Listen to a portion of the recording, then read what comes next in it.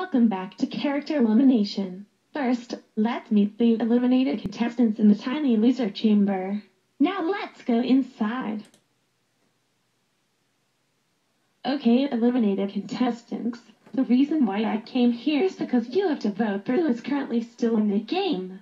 Now start voting. I vote for Linus, cause it'll be nice to see him again.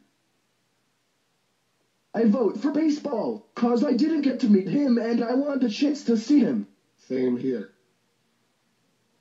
I agree with Gallo's vote. I vote for Linus. I also vote for Linus. Mettons.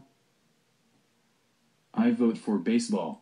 He doesn't deserve to win the money. I vote for baseball because he doesn't have arms. I vote for Muffy Crosswire. I vote for Linus. I vote for baseball. I have no interest in watching inanimate insanity. I vote for baseball. I vote for Linus. Me too. Tinky Winky vote for baseball.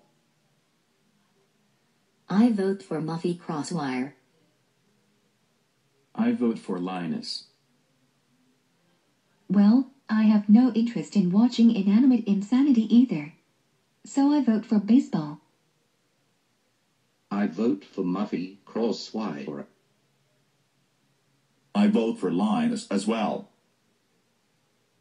Okay, Swiper. You can either vote for Linus or baseball to be eliminated. Your choice.